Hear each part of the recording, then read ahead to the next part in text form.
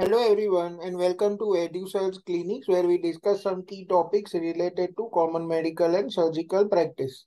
So today's topic is a very important update on the spectrum of inflammatory bowel disease or the very basics when you start to understand the inflammatory bowel disease we will clear the definitions that are involved, the various types of inflammatory bowel disease and its natural history as well as the implications of these points on its treatment. Okay, how you assess this patient and how you manage this patient keeping in mind the definitions and the natural history. So let us dive in. When we talk of the spectrum of inflammatory bowel disorders, usually we feel that it's ulcerative colitis and Crohn's disease, right? The commonly taught inflammatory bowel disorders. However, the spectrum is much more than that. So there can be inflammatory bowel disorder of known etiology, okay, such as drug-induced colitis, radiation colitis, or diversion colitis. So the bowel will be inflamed because of one of these etiologies, drugs, radiation, or diversion colitis. On the other side, you can have idiopathic inflammatory bowel disorder. And in this idiopathic inflammatory bowel disorder, you can have a transmural discontinuous process in any part of the GIT, which is chronic, and that is Crohn's disease. Each of this word is important when you are defining Crohn's disease. So it is an idiopathic inflammatory bowel disorder, which is chronic, progressive, transmural, discontinuous process that can affect the entire gastrointestinal tract, right? On the other hand, you can also have ulcerative colitis as idiopathic inflammatory bowel disorder. And this is also chronic and progressive, but with changes that it is a mucosal process. Okay, it is not a transmural discontinuous process. Ulcerative colitis is a mucosal continuous process that affects the colorectum with or without terminal ileum, what is classically known as backwash ileitis, right?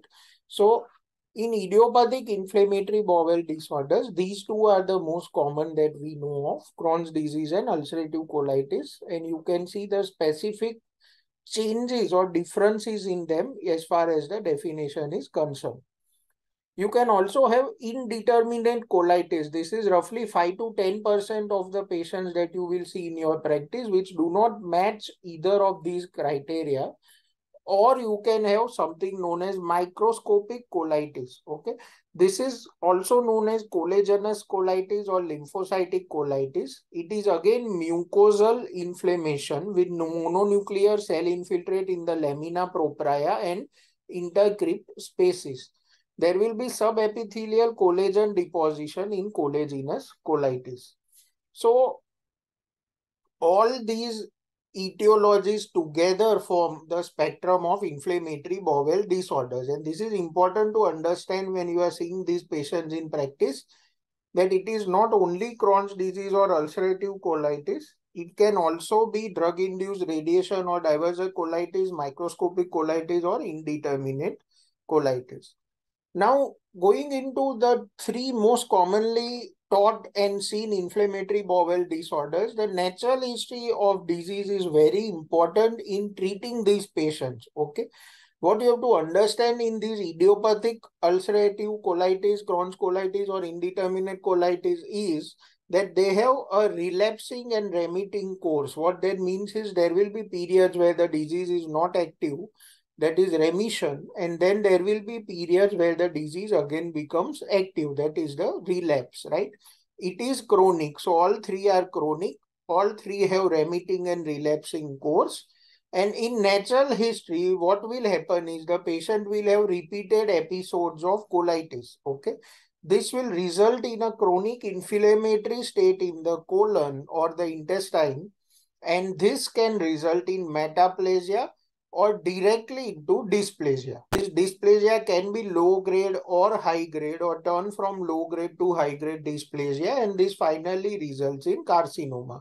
So this is basically a very simplified natural history of idiopathic inflammatory bowel disease. However, if I have to describe the nature of disease, okay, not the natural history. Remember the previous slide showed you the natural history of disease. Now we will see the nature of disease. Okay. And based on this nature of disease, you will have a different disease manifestation. And you can also have complications of management based on the nature of disease that a patient has. Okay.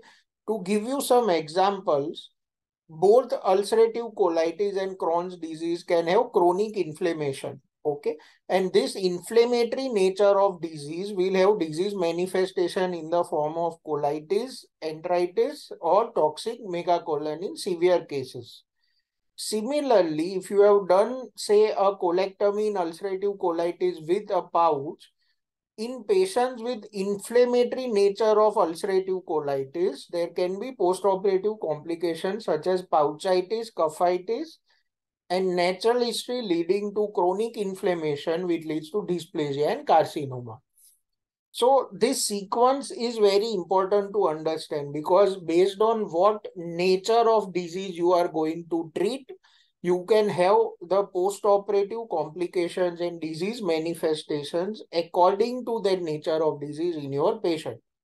Second type is stricturing disease. Now, stricturing disease is more common in Crohn's disease okay, but also seen in ulcerative colitis. And when you have a stricturing nature of disease, the disease manifestation can be intestinal obstruction and, and the result of this obstruction, if not treated, can be a perforation, right? And once you have managed this patient or you have done a surgery, the post-operative complication will be anastomotic stricture and carcinoma, okay? The carcinoma is more common in ulcerative colitis compared to Crohn's disease. Only seen in Crohn's disease is the penetrating nature of disease. Okay. So you can have inflammatory nature, stricturing nature, and penetrating nature. The penetrating nature of Crohn's disease leads to fistulas, which can be perianal or it can be enteroenteric, enterocutaneous, enterovesical or vaginal and post-operatively, again, it can lead to fistulas, which will be between two parts of intestine or between the pouch and the intestine skin or the bladder and vagina. So based on the natural history of disease and nature of disease, the phase one of clinical practice management of these patients is detection or diagnosis of the disease based on the nature of presentation. It can be active or complicated disease once you have diagnosed the phase 2 is initiation of treatment and achieving the phase of remission. Okay, treatment and remission is phase 2.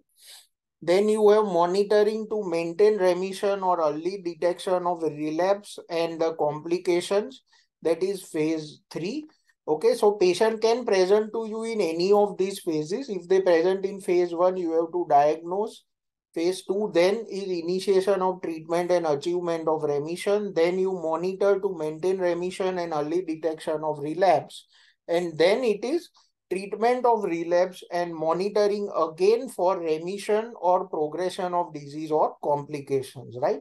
So this is how the phases will continue and these phases will form the basis of how we manage the patient and our upcoming parts of management of inflammatory bowel disease. So in upcoming parts, we will see each of these phases one by one, and that will be a guide to our series on managing IBD.